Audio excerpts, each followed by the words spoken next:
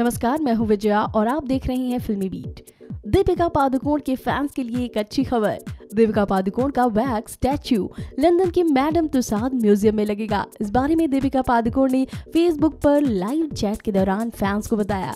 हालाँकि ये साफ़ नहीं हुआ कि वो किस लुक में म्यूज़ियम में नज़र आएँगी। जी हाँ दीपिका पादुकोण का पहला वैक्स स्टैच्यू लंदन के मैडम तुसाद म्यूज़ियम में लगेगा। बेशक उनके फैंस के लिए ये एक बड़ी खबर है और इसे दीपिका पादुकोण ने खुद लाइव चैट पर शेयर किया। बत्तीस साल की दीपिका पादुकोण बॉलीवुड में अपनी एक खास पहचान बना चुकी हैं। उनका हर रोल बेहतरीन होता है। वैसे उनकी फ़ैन फॉलोइंग ग्लोबल लेवल पर है और वैक्स स्टैचू की ये खबर इसी बात का सबूत है। दीपिका पादुकोण ने बताया था कि वो फेसबुक पर अपने फ़ैन से बात करेंगी। साथ ही उनके पास एक खास खबर भी है बताने के लिए।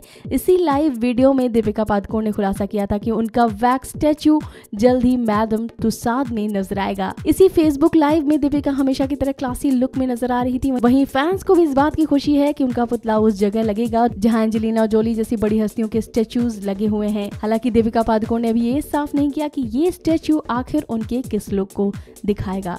क्या ये किसी फ़िल्म से लिया जाएगा या फिर स्टाइल स्टेटमेंट इस पुतले में झलकेगी? वहीं फेसबुक लाइव के दौरान दीपिका पादुकोण से जब फैंस ने पूछा कि अगली फ़िल्म में वो कब नज़र आएँगे तो उन्होंने कहा कि इस बारे में भी जल्द ही बात होगी। आपको बता दें कि दीपिका पादुकोण और रणवीर सिंह की शादी की भी चर्चा हो रही है।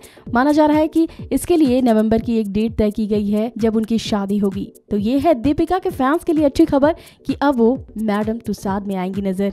ये है दीपिका का ज़बरदस्त स्टारडम इस वीडियो में फ़िलहाल इतना ही।